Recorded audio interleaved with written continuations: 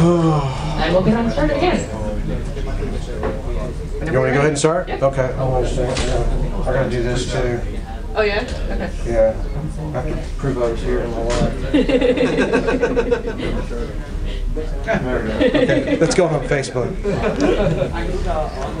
Okay, so I'm Jonathan Holloway. I'm Principal Quality Engineer at Red Hat.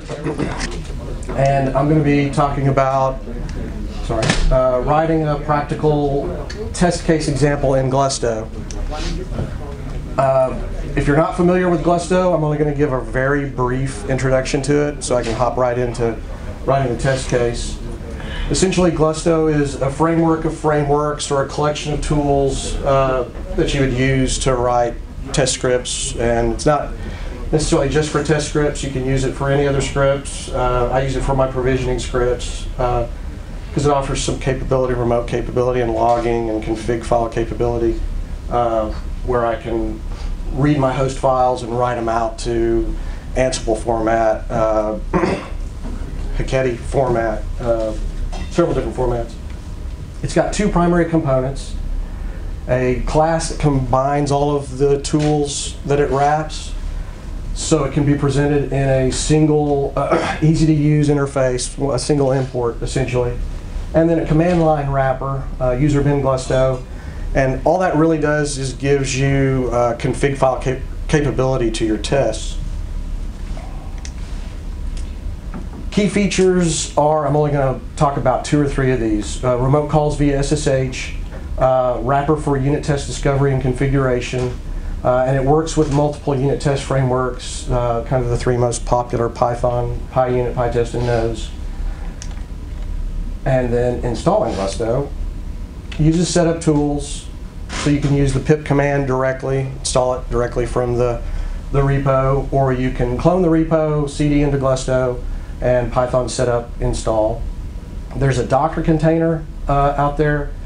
It's a base Fedora container that has just Glusto in it. Um, and I use that for demos and for running my tests. So I'll upload all of my Docker files that I use to, uh, to configure that uh, as examples. I don't have them up there right now. And I won't really focus on that today either. The second piece that you need to install is glustolibs-gluster, and it's not necessary to write test cases. It's just helpful because it's going to have your volume creation, uh, mount, uh, reading configs, uh, the things that are specific to Gluster. So Glusto really doesn't know about Gluster at all. Uh, that's where this comes in, and then the code that you're going to write as well. So you have options to leverage this. To install it, uh, you essentially clone, this may be my, my previous presentation. Uh, essentially, you'll need to clone. The pip's not working right now, so you'll need to clone it, CD into uh, the, the directory, and use the Python step install. There's also a glustolibs-io that offers some IO methods to use. So writing tests. So Glusto essentially relies on the standard frameworks, PyUnit, PyTest, and Nose. So to write in Glusto, you don't necessarily have to use the user bin Glusto command line utility. You're essentially writing in one of these standard formats. You can use those standard format tools, so py.test, nose test, if you're familiar with those commands. You can write and run in those, or you can use the user bin glusto command if you have config files, which you will, uh, to pass config files. So at a minimum, you're going to need uh, a client and server host file, and I've got one listed here. So clients with a Python list of uh, systems, servers, same thing. So at a minimum, you'll need that. If you're not familiar with it, this is the basic PyUnit script format. We're standardizing, the QE team is standardizing on the class-based format. And essentially, it's uh, an import section, uh, your class definition, you can name that class anything you want to. You'll need uh, at least to, to inherit from unit test.test case. The nice thing about using the standards is we can go back to, you can organize this however you need to within your Python coding. So you can uh, create a a my demo class is what I do for, for most demos, and then this test case would inherit from it. So you can organize your code in a different way. If you have 100 test scripts, uh, you'll want to do that and create a, a, a super class that you'll inherit from in your test cases. Then uh, there's setup class and teardown class are the two methods, the first methods that you would use. And this is typically where you would do volume creation, things that all of your tests uh, need to have set up to run. And then the teardown class uh, actually tears that down. Anything you're going to set up in your setup class, you're going to want to tear down in your teardown class method. Then setup and teardown these actually are similar, but they run before and after each of your test methods. So I'll hop ahead here. So you'll have test methods. They need to be named test underscore. Uh, at least that's what we're standardizing on. Um, so what will happen is in your setup, it will run, test example one will run, and then teardown will run. Setup runs again, test example two runs, and then teardown runs. Uh, so things you can do there are if you need files created specific to this set of tests, uh, you can do that there.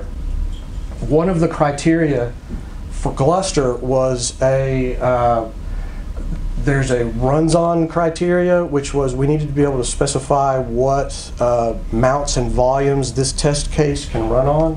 So I'm going to go back to this. So uh, we will define that with a decorator up here, and then there is a reuse setup. And the reuse setup is we inherit that by just using this standard format.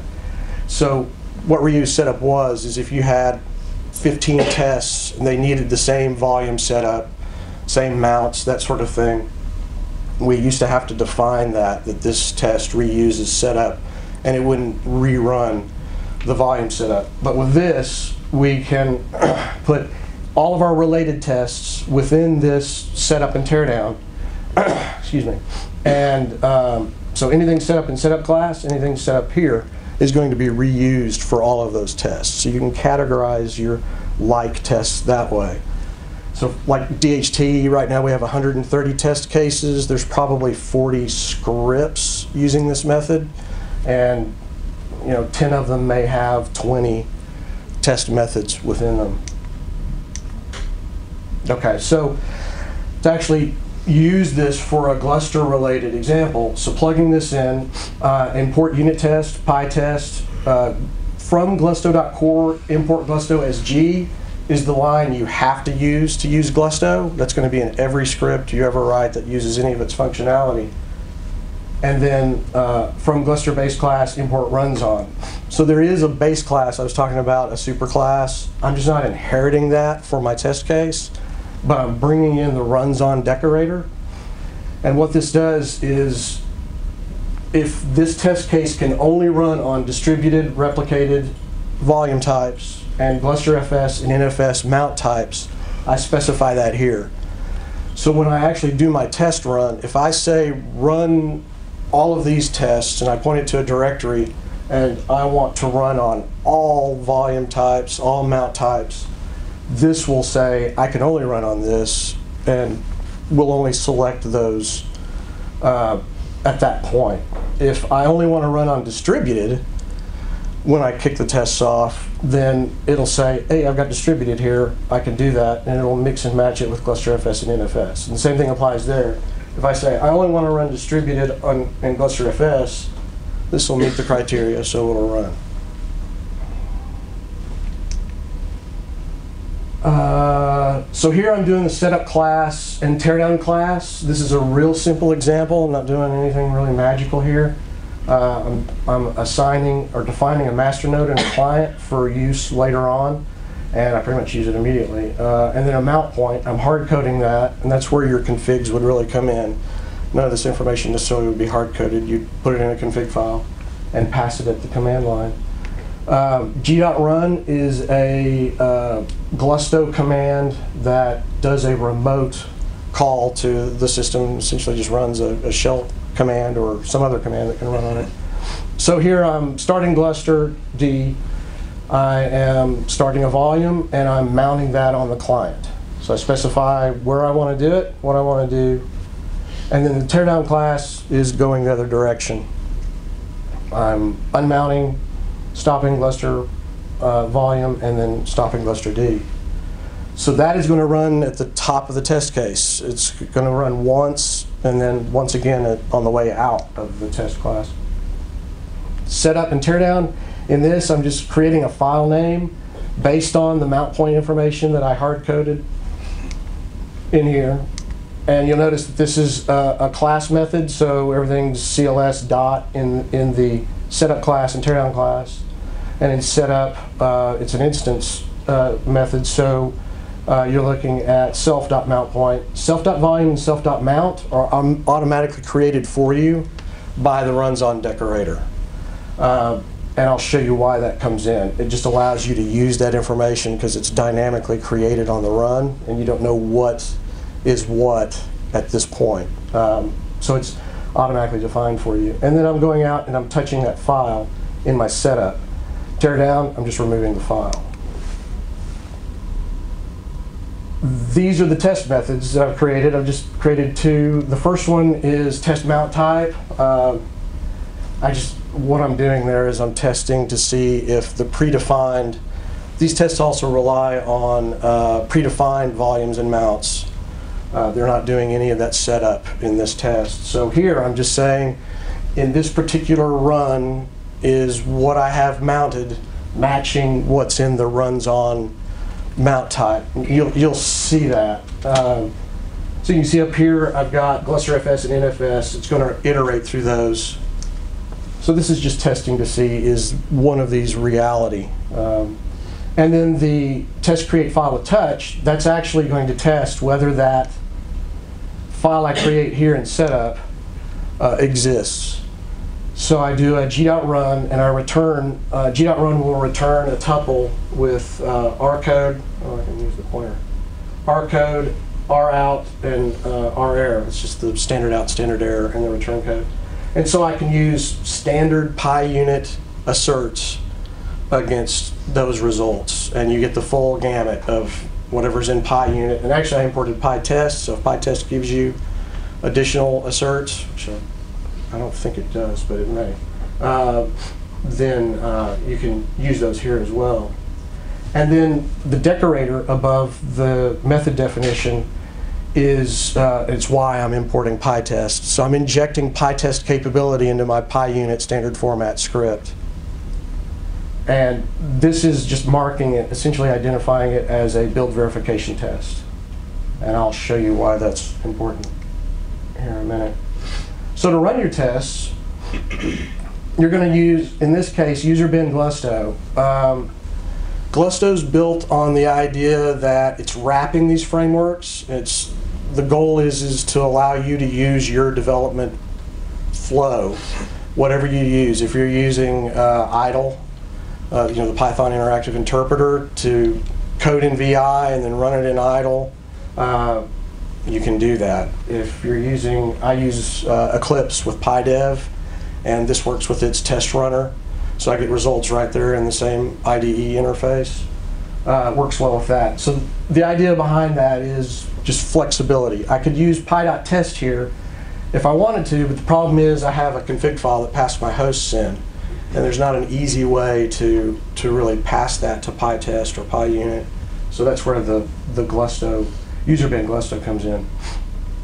So here I'm doing the Glusto command with the config file, minus C, the config file, and then I'm going to choose the PyTest loader and runner. So I do a dash dash PyTest equals, and I'm just going to pass it the file name.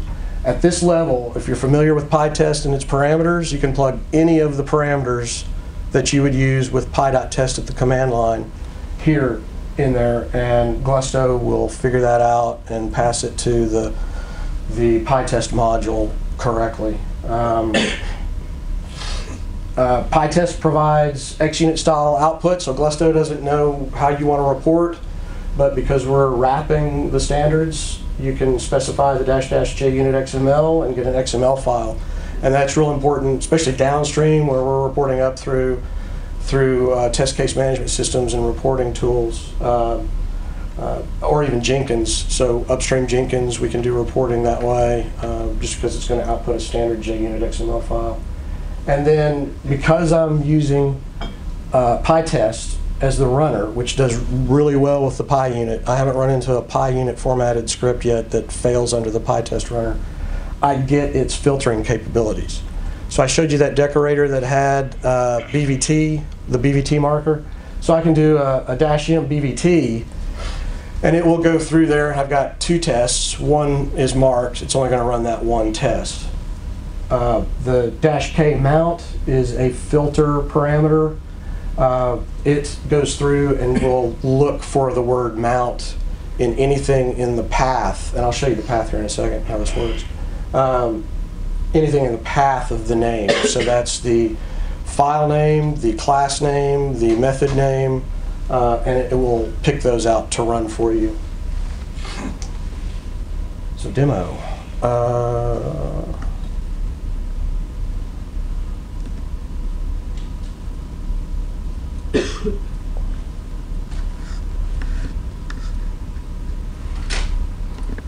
do this full screen here. So what I'm going to do first is I'm going to cap the file.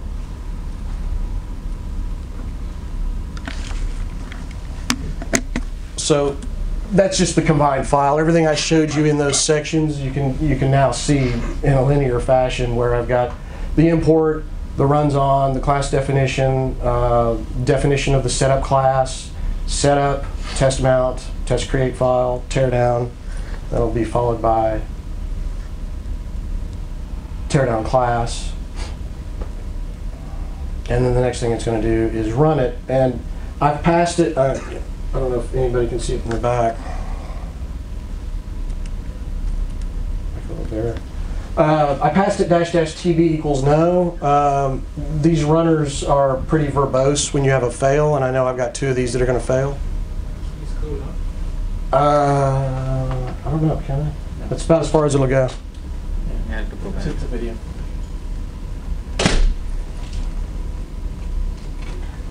Let's see if it'll give it to me. No. No, you can't do it. Probably have to go back. No, you can't scroll Yeah, hold on a second. You probably have to go back. Let's go to the video. Oh, this isn't responding to me. Scroll the channel to the videos. There we go. There we go. It's going to cut it off a little bit. Every single video.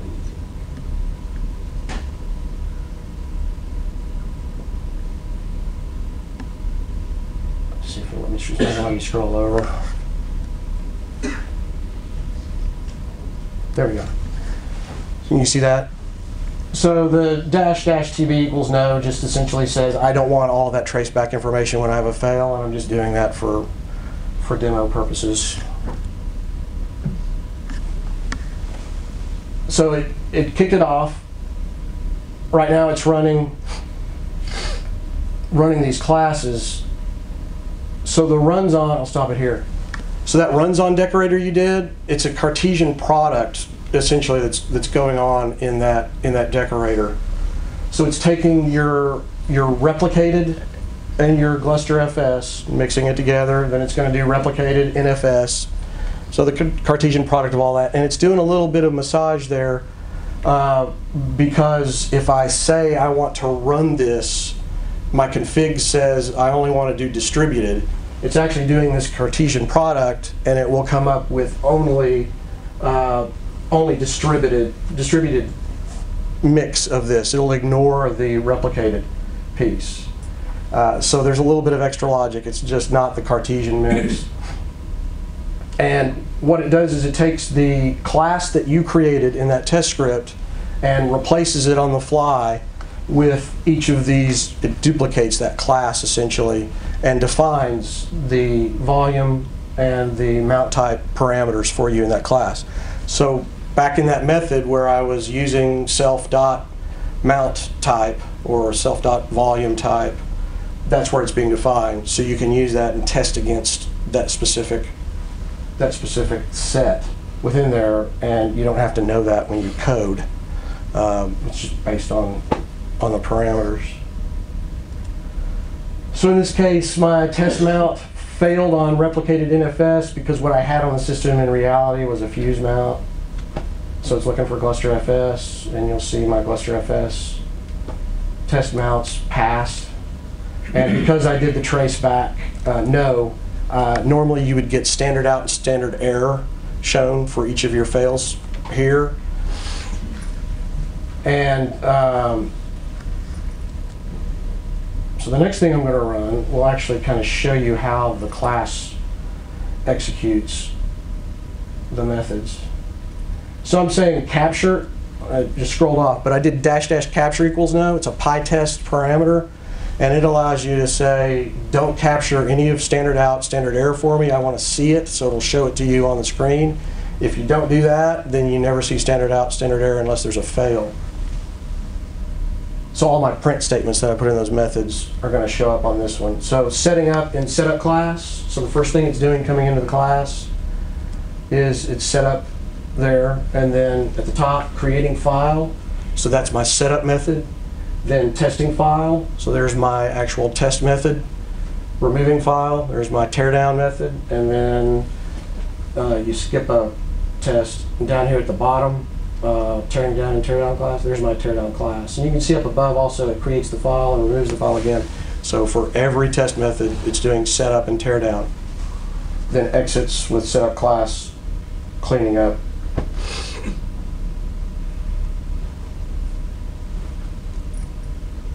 So in the next example, I'll get here in a second.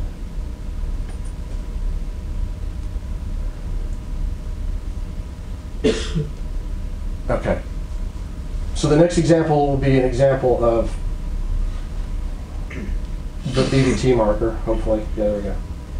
So I passed it minus M BVT. So what we should see is it's going to say collected eight items. So it still sees all of the Cartesian mix. Shows you eight items. And then it's going to go through and figure out, based on that marker, which ones, which methods do I specifically need to deal with? So Gluster demo test replicated Gluster FS. There's my file with touch, file with touch, file with touch, file with touch. So it did all of the mixes and just picked that one method out based on BVT. So, so that becomes important when we're talking about uh, what Nigel's doing uh, with the CI environment and Jenkins and that sort of thing as you create test scripts that fall into a certain category or if, if you want to mark it with a certain type or whatever the criteria is, he will have already created the Glusto command that filters for that. So if you push one up there and we merge it, then the next time it runs and it meets that criteria, it's going to run that one. If the next time you push something up there, it's got 10 test methods that are marked with PyTest marker BVT, then the next time we do the BVT run, it's automatically going to pick those up. So you can kind of categorize and classify your, your test methods that way. How am I doing on time? You should probably stop. I got, I got one more. I got, so this is the filter. So this is the filter.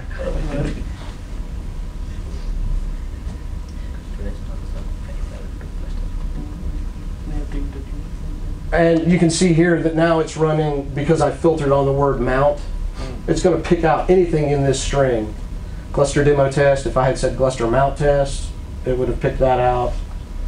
And it's only going to run those four. Still collects the eight, still figures out what your Cartesian mix is, but then goes through and does an extra round of filtering, and that's it.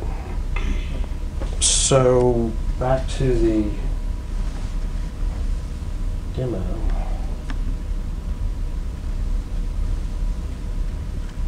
I don't want that to work. There we go. So, uh, I didn't talk about Glusto and its features at all because I'm out of time. She's about to kick me out. So, Gluster Devel, uh, email any questions. Uh, unload the ACK on on the Gluster Dev Freenode. Uh, there's documentation for both the libraries and Glusto, uh, and we'll put out more demos uh, here in the next couple of weeks for the container and how to use the libraries. Libraries are being uploaded right now this week by the uh, automation team. So you'll start seeing those pop up and we'll create demos and docs on how to leverage the mounts and volumes and all those other helper methods that will be available for you so you don't have to write that code in your tests. Okay. Thank you. Oh, questions, you can take questions. Oh, questions? You can take questions. Questions? So runs on had lists for the parameters, um, but the, if, what if you wanted to, to require two of the things, you know, with an and? It looked like you were basically filtering on ors with the runs on. Yeah, it only does kind of a single Cartesian mix where you only get uh, this volume type mixed with that mount type during that test. So to do that, we would need to either write uh, another decorator that kind of massages that uh, that information, um, or if that's a requirement, we can inject that. So Glusto, uh, that runs on decorator is in the Gluster base class that I that I pulled in, but it's a I injected that Cartesian capability into Glusto, so we can either override that and change the runs on behavior, or we can create an additional, um, or you can just write that in your in your class itself and inherit it. But right now, as it stands, yeah, it's a single mix of each of those products. Yeah, just to add to that, uh, we discussed the same thing once before. So runs-on is additional feature. Uh, if there is a workload kind of a test that you want to run and don't want to care about the volume type, then you use this feature. But if your test already has a clear idea of, okay, I want both the distributed and the replicated volume, then you write the test with everything inside it and you don't depend on runs-on. So that's still possible. Yeah, that's a great point. Everything I showed you, you don't have to use. Uh, so, this, really, the format is what we want you to use. But the runs on decorator, uh, I mean, you can make it as simple as you want. If it's a simple test case, take out all the extras. Uh, and and if you already have 30 PyTest formatted scripts, I mean, by all means, put them out there. We kind of want to standardize on one format, but getting some tests going and, and up into the into the community repo uh, is kind of the primary goal. Yeah. Um, so, what I would like to know is when do we see the first test and regular runs in upstream Gluster Jenkins or the CentOS CI? Okay, so the runs themselves upstream, Nigel had them done what last night? You got them all? Or is it all ready to go? That's me throwing you under the bus. It's waiting on the automation team to finish writing the tests. Okay, so it's back to me under the bus. So the automation team pushed libraries starting probably last Thursday. They're in review, and I haven't looked today to see what's actually merged. Uh, so the libraries that those tests need, because the downstream team, uh, we already have uh, robust libraries, and they've been using those. The tests, some basic tests went with that. So hopefully by the end of day today, we should see the first of the tests. Yeah, so that's really great because um, once the tests run in upstream on either daily basis or, or whatever, um, we'll expect all of the developers to write test cases for their features. So So that's you under the bus. exactly, but you're first and we'll follow. Okay. has to be there. So me, Nigel, and then. I'll get everyone the bus. Other questions? I'll catch the bus too. Yes. Um, multi-node uh, support, uh, like uh, what is the configuration required? Is it uh, communicates over SSH or does it use any other RPC layers? That's one question. And Okay. other question, uh, uh, does this framework provide uh, like negative test scenarios like node reboots or uh, brick going down, those kind of things? So that's, so uh, the first one, uh, the first question was, tell me the first question again, sorry, I was focused on the second one. How'd you know to? The multi-node, okay, so SSH and RPC. And the methods, so without going into Glusto and its features, which is another, uh, the videos that we have, and I'll link those to the doc page. The videos I have, it's an hour and a half of me telling you all the features of Glusto. So And I broke, and I broke them up into little sections so you can have 10 minutes of me or an hour and a half of me telling you all the rest of stuff. Uh, so SSH, RPyC, there are methods that will do uh, backgrounding, asynchronous. So all of the features of RPyC that were most common, I tried to inject into it. Uh, and then same thing with SSH, uh, where you can run one command on multiple hosts or multiple commands on one host, that sort of thing. Those helper methods are there. And then the second question was Negative test negative. So that's really going to be a library thing and specific to your need. So Glusto doesn't necessarily know what you want to test. Uh, so that's going to be up to how we write that into the the Glusto libs Gluster if there's common negative tests and that sort of thing. But PyTest and those kinds of things you can assert for negativity. You know, you can do negative asserts and that sort of thing. We're just inheriting all of that. The main thing I was worried was no reboot. Like, will the framework will handle, like after rebooting, uh, will it able to connect that to that node? So that's a good question. I know downstream we have libraries that have done that in the previous test setups, uh, our Beaker and distaf. Uh, so I'll have to check to see. It should work. It should be the same stuff. But Glusto doesn't know that. It's the libraries that have all of that information. Yeah. Yeah, how to handle it when it comes back up and, and yeah. Thank you. So, Thank you.